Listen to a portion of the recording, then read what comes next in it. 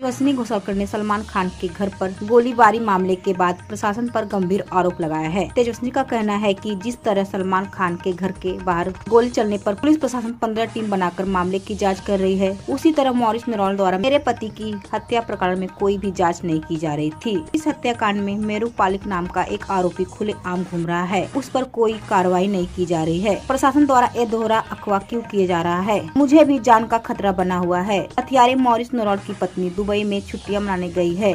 ये कैसे हो रहा है? जाँच का विषय है। ये सारी चीज़ राजनीतिक दबाव में किया जा रहा है।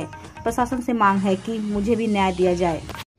आज मैंने इंस्टाग्राम पे इसके लिए पोस्ट डाला था कि कल जो सलमान खान का इंसिडेंस हुआ है, उसके घर पे दो गोली लगी है उसके घर के ऊपर। तो मुझे ऐसा लगता है कि जो पुलिस डिपार्टमेंट है वो लोग जैसे इन्वेस्टिगेशन कर रहे हैं वहाँ पे या सीसीटीवी फुटेज उन्होंने निकाली है, आरोपी को पकड़ा है ऑलमोस्ट पकड़ा ही है और पंद्रह पंद्रह टीम बना के वहाँ पे रखा है। तो मेरा एक ही सवाल है कि अभिषेक के बारे में ऐसा क्यों नहीं हुआ? क्योंकि हम लोगों ने खुद से सीसीटीवी फुटेज उनको दिए थे और उनको बोला था कि ये ले लो और हम लोगों को जस्टिस दे दो। उन्होंने मुझे, मेरा एक कहना है कि हम लोगों ने जो फुटेज दिया था, उसमें एक मेहुल पारिक करके है, वो खुलेआम घूम रहा है और सबको बोल रहा है कि देखा मैं घूम रहा हूँ मेरा कोई कुछ कर नहीं सकता है। मतलब ये महाराष्ट्र की राजनीति है या इस पे बड़ा किसी का हाथ है, इसके लिए वो घूम रहा है। मॉरिस की वाइफ दुबई में जाके हॉलीडे मना रही है।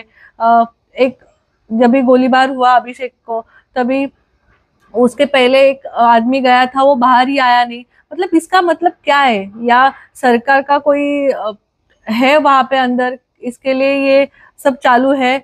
मुझे तो मतलब ये षड्यंत्र लग रहा है। जैसे आपसे जाना चाहेंगे कि वो बॉलीवुड एक्टर है इसलिए क्या पूरी की पूरी मुंबई पुलिस उनका सपोर्ट करने के लिए वहाँ पहुँची पूरी इन्वेस्टिगेशन कर रही है? पर उससे ज़्यादा गोलियाँ यहाँ पे चली थी हम्म। जिसमें मौत हुई दो दो लोग की पर मुंबई पुलिस काम नहीं कर रही है। तो आप क्या कहना चाहेंगे? क्या मुंबई पुलिस इस चीज़ में सक्षम नहीं है या फिर जानबूझकर राजनीतिक दबाव के चक्कर में नहीं जानबूझ के ही लग रहा है मुझे क्योंकि पुलिस के ऊपर दबाव है।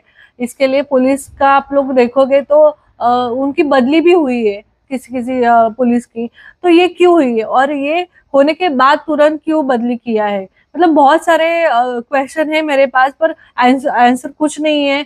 तो इसका कुछ ना कुछ तो मुझे आंसर चाहिए। इसके लिए हम लोग उप मुख्यमंत्री देवेंद्र फडणवीस साहब के पास मीटिंग रखने वाले पर वो मीटिंग देंगे कि नहीं, मुझे पता नहीं।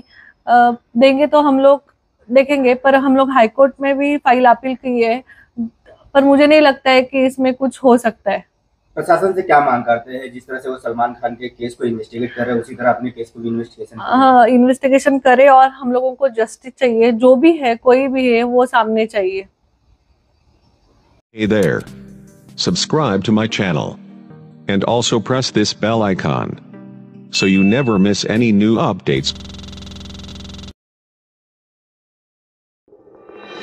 Thank you.